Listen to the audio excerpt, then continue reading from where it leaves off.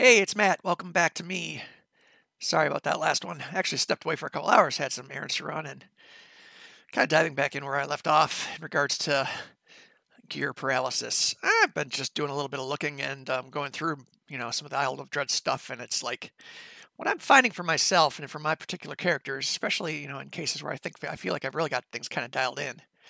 Um, trying to make the transition from 29 gear to 31 gear and maintaining what I've got, you know, not losing anything, but improving areas is just I'm you know finding challenges here or there to um, accomplish that. For example, uh, this build I feel like I've got dialed in really, really pretty well. This is Cataclysm. She's a level 32 pure um, warlock.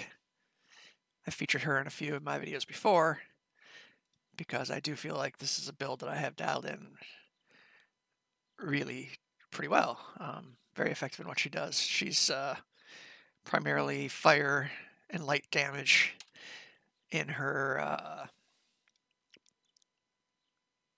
enhancement tree. Enlightened Spirit all the way to the top. I'm using Feydark Illusionist for charisma to hit and damage and some critical spell crit stuff here some charisma there, quality of life stuff. Tabaxi all the way up to the top for I just like the mobility, I like being able to run.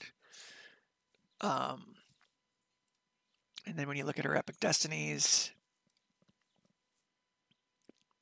I've got Divine Crusader all the way to the top. And I've got a Splash and Grandmaster Flowers and uh, the rest in Exalted Angel for some, you know, survivability. But I mean, just getting back to the point is her gear is just so so dialed dialed in um, three piece set of Flamecleansed Fury, which I know is giving me um, spell power to my positive and my light, and you know, decent armor. Plus the artifact bonus is the thing I'm I like. Uh, I'm looking at. You know, I got thirty percent or thirty artifact bonus to fire, force, light, and positive spell power, which is what she all does. 6% artifact bonus to Fire Force Light, positive crit chance. Artifact bonus to Wisdom and Charisma. Artifact bonus to spell DCs. Cool. Plus, I'm rocking a four piece uh, winter set, which is giving me my legendary 10 point boost to boost my hit points. So, um, all good in the hood there. So I've got my my uh, staff of summer solstice here, which again is my fire spell power Obviously, the light is a little bit redundant because I've got it in the, the cape too, but for the set bonus, we'll take that. I'm getting my insightful spell power from my legendary shard of Volum. And you know, I've got a uh, profane well-rounded here, so that's plus profane bonus to all my stats. I've got a quality charisma item here. So it's really, I feel like this build is really dialed in pretty well.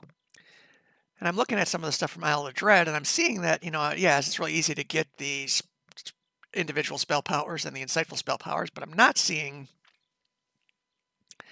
you know, anything that's giving me my uh, spell crit. And I'm seeing that some of the artifact bonuses are not giving you any additional uh, stats. So um, I don't really want to give up my three piece set because I don't want to lose my artifact bonus to my charisma. And I don't want to give up my winter sex. I don't want to lose a 10, 10 hit points, 10% hit points. So trying to figure out a way to fit in some of the um, the new stuff for me is just I'm it's I'm finding it a bit challenging. For example, we're looking at these are uh, the named items from let me level 31. Where was I? From Isle of Dread. Uh, the Defender's Mask. This is uh, for a Wisdom build. I'm not really Wisdom, so let's just ignore that one. Um, find someone that's got some charisma here. Dread Isle's Curse set is Wisdom. Defender of Terranoa set looks like it's Wisdom. Uh, Dread Isle's Curse is like the big five piece set, which is giving me a plus two profane bonus to all ability scores, which I'm getting You know, profane bonus to melee and range power would be nice. Profane bonus to universal spell power would stack. Yeah, that's nice. Um, so just trying to find a way to make it all fit with without losing my you know existing artifact bonuses to stuff is where I feel like I'm having a hard time kind of fitting things in to upgrade my characters from level 29 gear to level uh, 31 gear. So there's some nice pieces. Um, Dread Isles, Legendary Dread Isles Curse set. But let's look at this. Uh,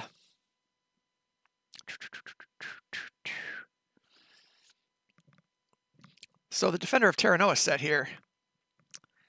Uh, artifact bonus to positive spell power, nice. Universal spell power and critical chance, that's about, the same.